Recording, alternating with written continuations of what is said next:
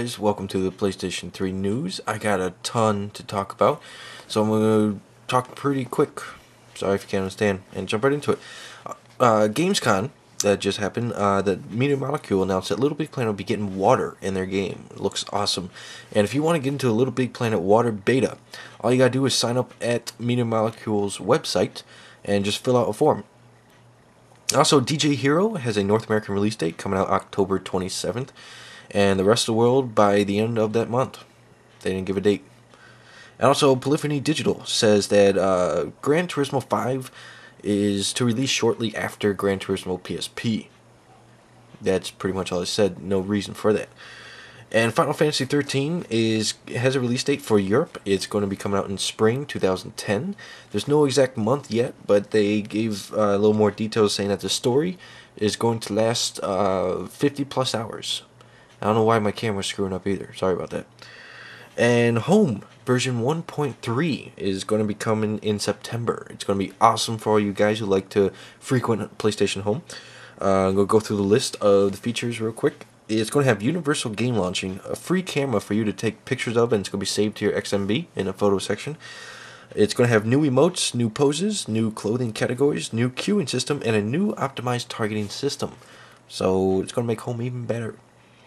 And also, Dark Void is going to release January 12th, 2010 in North America, and January 15th in Europe.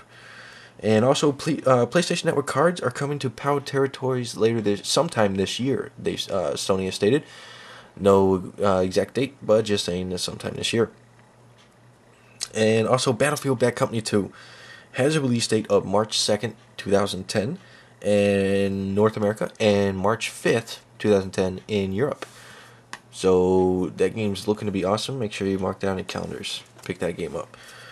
And also, RPG fans, uh, you're probably pretty excited about Resonance of Fate. Uh, and I'm sure, like, you RPG fans, I know you love your games real long. They have stated that Resonance of Fate is going to have over 150 hours of gameplay. It's fucking long as hell.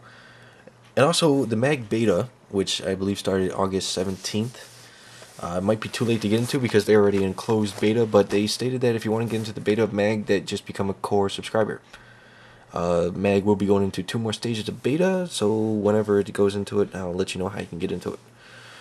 And the biggest news to come out of Gamescom is, most of you already know, is the PlayStation 3 Slim is true. All the rumors are true. The worst kept secret at Sony.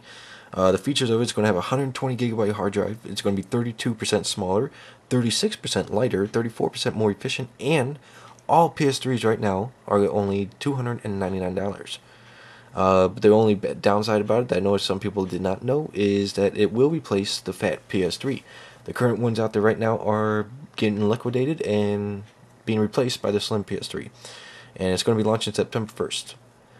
And if you want to know my opinion, a lot of my PSN buddies already know is that I don't really like the PS3 Slim. Uh, if you ask me, it's like a downgraded PS3. It, they got rid of all the great cosmetic features that make that made the current PS3 more the most modern looking system. Uh, you know they they using all the flat uh, flat black, which makes it look cheap instead of metallic or the piano finish black. Uh, they no longer have silver accents, and they have that new PS3 logo engraved in it, which I don't really care for either. And they also the touch buttons, which is like the most modern thing on it, which I love the touch sensitive thing, uh, panel on there for the power button and eject button are now being replaced by just actual buttons. And I couldn't tell, but judging by looking at the pictures, I couldn't see any lights either for the power and like the disc when you put in the blue and green lights. So personally, I don't like it, but hey, y'all have your own opinions.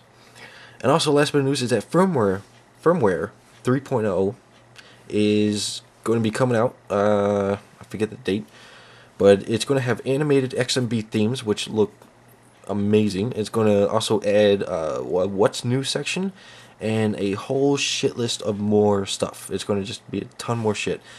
And if you want the full details, uh, I don't have enough time to list, is uh, check out the PlayStation blog and watch the videos of the walkthrough of everything about the new firmware update. I'm sure you guys would love it. And that's pretty much what's been going on. So, uh, you know, quite a bit. I know I talked pretty fast. Just repeat the video. but anyway, rate, comment, subscribe, and I'll catch you guys next week. All right, peace.